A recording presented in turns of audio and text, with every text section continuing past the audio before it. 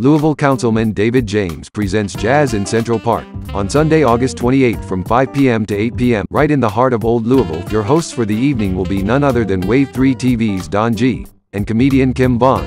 Musical performers include Karen Chavez, Urban Jazz Coalition, Regina Troop, The Unlimited Show Band, and Frankie Raymore and the Groove Masters.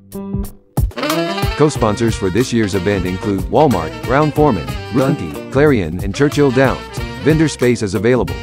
We'll see you Sunday, August 28 for a night of amazing performers at Louisville's historic Central Park located at 1340 South 4th Street.